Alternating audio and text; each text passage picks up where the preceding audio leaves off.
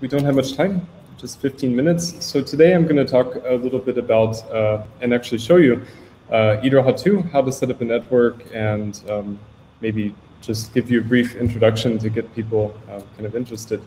Um, so I'll talk a little bit about Iroha version 2, uh, the GitHub structure, uh, how to set up your own network, um, how to execute what we call uh, Iroha special instructions, uh, and then like how to use the client CLI uh, to do this. Um, just a very brief introduction. I'm Makoto Takemiya. I'm the CEO of Soramitsu, and Soramitsu is one of the contributors of uh, Hyperledger Iroha, and we use it for many applications, including working with the Central Bank of Cambodia and uh, and actually many other institutions. We do a lot of really cool work. Um, Iroha version one uh, was used in Project Bakong, uh, which is uh, uh, the world's first retail payment system run by a central bank using blockchain, and it's really an exciting app.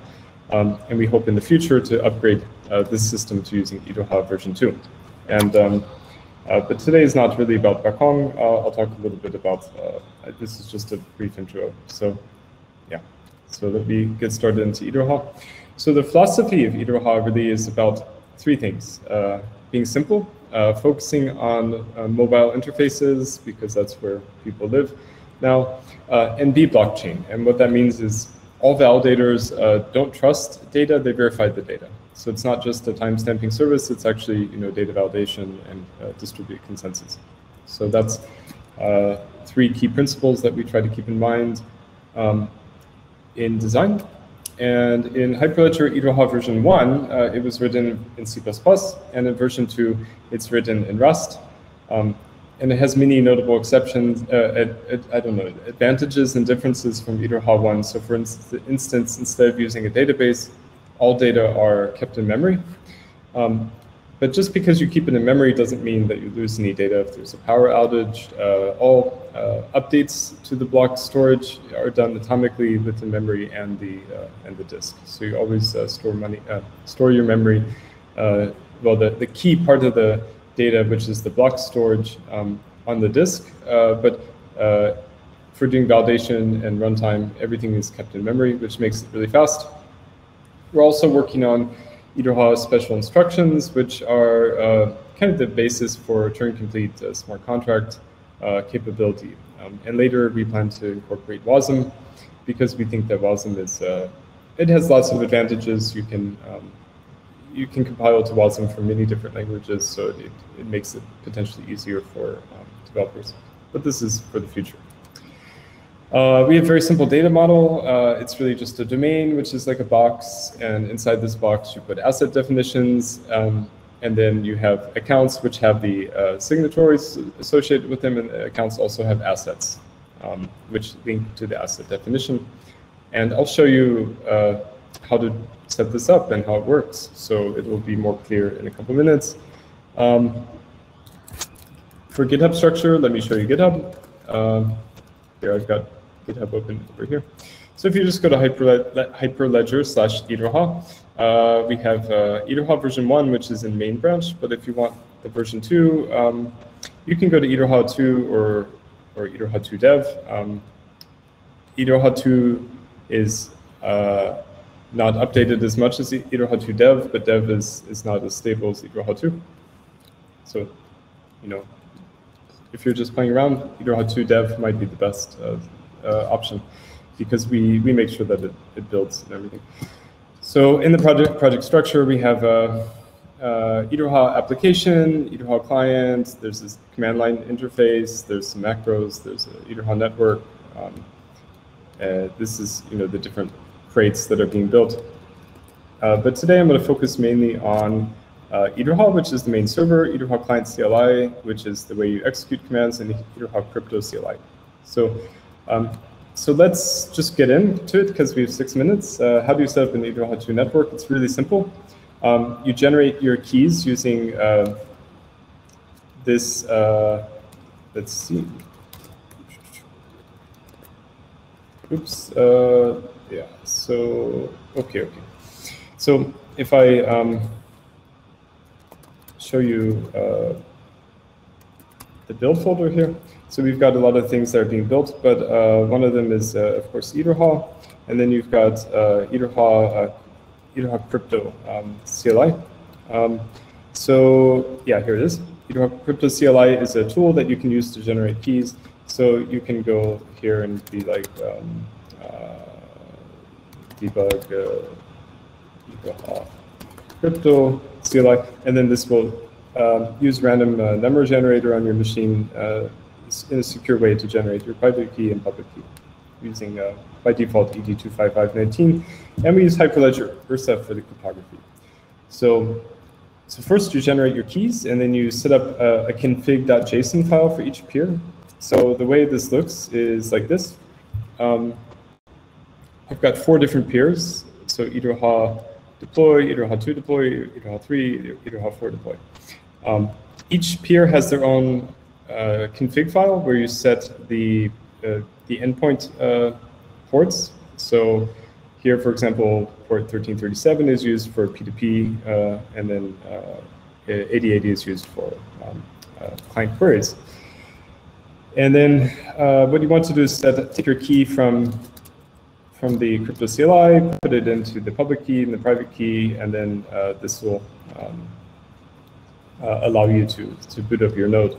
And uh, if you just have this, you can you can actually run here. Let me um, run it here. You can actually run Iroha and it will just start up Iroha. It can't do anything yet because there's no client, uh, other clients on the network, um, and uh, you know they're not really doing anything yet. Uh, but once you read the Genesis file, which is the next, uh, well, I'll I'll talk about that in a second. But once you set up the Genesis file uh, like this, then it'll actually boot up the network for the first time. But before you do Genesis, you have to set up your trusted peers. So you just put the uh, P2P endpoint uh, URL in for each peer, and you put the public key for each peer. And this is important because uh, each peer validates the messages using the assigned messages using the public key, right? Um, and that's pretty simple. You just copy, you know, these trusted peers files to every um, every peer deployer, and then you um, you need your Genesis file. And this is uh, kind of included by default. If you look in our, um, our Docker distribution, you can kind of see this. Uh, you just need to generate a key for Alice. Uh, Alice is one of the user accounts, and then you can um, uh, easily uh, have the signatory uh, key here for Alice. And then, so you copy this Genesis file to at least one of the peers, and then you hit Genesis, and then you can actually, um, oops, you can actually start up. So um, yeah, you can see it says uh, committing block with hash there. And then this is new height one, new height one, new height one. So uh, what that means is that, uh, so it, it, went kind of fast, uh, but when I started up this peer at the Genesis block, it actually went through uh, the Genesis uh, sections that are in the in this text here, and it committed the blocks. So that's why you, you can see these blocks one in every peer. And then uh, once you have a network, you can execute Iroha special instructions, which uh, I think a good way to explain this is to show it. So I'm just going to quickly create a new domain called Iroha world. And uh, let me go to my Iroha CLI. So create my Iroha world. Um, so this creates a new transaction, which you, you saw was created and validated on all the peers. So I now have a new domain uh, world, and then I can create a new account, Makoto at Iroha world using this public key. So let's do that. Oops, I'm uh, it doesn't like my code because um, Keynote, uh, I think, turned one of my quotes into um, into some special quote. Here we go. This is like Okay, so now it executes it. And so I registered this new account Makoto Iroha world. And then register new asset called IRH token that has a value type of quantity. And this has the same um, uh, the same problem with uh, this quote, I think, because Keynote is not so so friendly. Let me try this. Anyway, there's not too much um, time. I'm probably misspelling something here. Hmm. I will look at that in a, in a moment here. Uh, it's, let's go back here. I can just uh, go up to my history because I worked fine. There. Okay, so yeah, I was misspelled. So it uh, creates a new asset called IRH token, and then it has a quantity, and then I can actually mint new instances of this token and give it to Makoto world. So that actually gives me some new token, and then you can actually um, list all the assets in the system using this uh, query command in the CLI, and you can see that I've got Makoto at Iroha world with your 1337 quantity uh, token. So, um, so it's pretty fast. You can see that uh, it's running it in Rust is extremely uh, um, uh, quick and and it's pretty uh, fast and flexible. So uh, I think that's all the time we have because it's only well, I think yeah, just maybe four more minutes. I guess is what we have. So I'll answer some of the questions that are in the chat. So one of the questions is, what's the reason to use Iroha instead of Fabric? I mean, it, it really depends on what your um, goals are and what your business process um, processes are. So in, in Fabric, uh, it's very different uh, method of consensus and data model management in, in, in uh. And in uh, is, is good at some domains. Uh, I would say it's really good for asset creation. So you can see that uh, in this quick demo of just a few minutes, I was able to set up a network and actually mint tokens and um, give them to an account and register an account and, and, do these different things. And that's really kind of the, yeah, kind of the, the goal of uh, the project design is to make it uh, really uh, easy to um, uh, to create different tokens and to do um, uh, kind of asset management in a very quick and you know, in a way that doesn't have very much uh, overhead. Somebody said, is the mig is migration to Rust done or is it in progress? So uh, there's two separate uh, branches in the uh, GitHub. So let me share my screen again. Um, so there's the, if you go to the Hyperledger GitHub, uh, you'll see, um, here we go. If you go to the Hyperledger GitHub, uh, you'll see a very uh, various branches here. Um, main is the uh, Iroha version 1 branch, and then Iroha 2 uses Iroha 2 and Iroha 2 dev. Um, so it's still not a full production release yet. It's still a work in progress, and that's why it's not um, a tagged release at this point, uh, but it will be hopefully soon. So uh, Iroha 1 is still being maintained. There's a team working on that in C++ and you're welcome to use that in production. It's used by central bank even. It's very reliable software. Um, and Iroha 2 is really a rebuild, being a rebuilt from uh, uh, from yeah from zero really um, using Rust.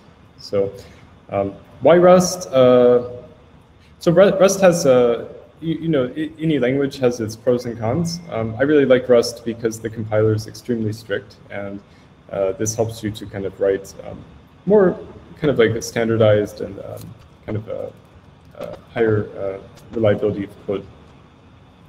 Um, since we have a little bit of time, uh, let's I, I can you, you, can also execute many other um, commands in in the list. So like uh, instead of viewing assets, you could view, for example, um, accounts. You can just do account list all, and this will list all the accounts. Um, you have to yeah, have the query permission to do this, um, but uh, in this default setup, um, all the um, every everything is public, so it's it's fine. So you can see that we have uh, this when you list the um, the accounts, you actually get not just the accounts, but also the assets the account has, because if you remember my um, data model uh, figure, uh, the assets, uh, every account has assets and every account also has signatories. You can have multiple signatories. This one just has uh, this public key.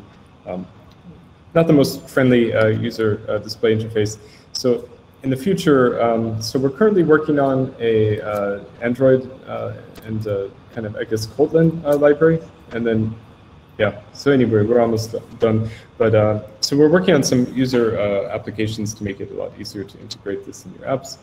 Um, so feel free to join in development, head over to Hyperledger Iroha, um, check out Iroha 2 dev branch, just check it out and uh, clone it, hit cargo build, and um, things uh, should should work.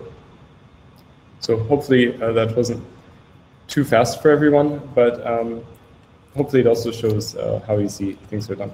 Uh, tonight, I'll be speaking about Iroha 2 in more depth, so feel free to uh, look at the schedule and come by. So thanks, everyone. Have a, have a lovely day.